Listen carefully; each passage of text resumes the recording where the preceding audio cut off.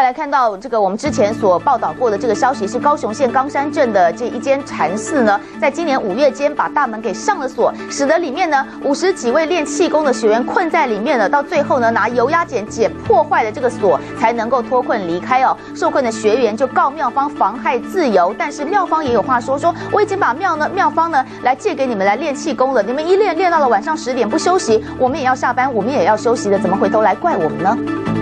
今年五月十二号晚间九点，在高雄县冈山镇景物禅寺内练功的五六十位民众，就这样被庙方当家师用锁链困在庙内。当时地方人士、警察都来到现场，当家师就是不开锁，最后找来油压剪剪断铁链，众人才脱困。受困的民众联名向法院提起妨碍自由的告诉，但是双方却是各说各话。一个高点，我就入去来这个讲，女生高点嘛哦。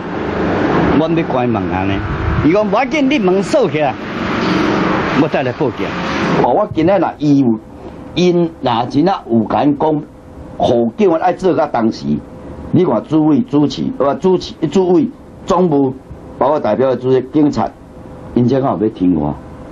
那就违法。所以事情事情我无甲你讲，伊将拢黑白讲。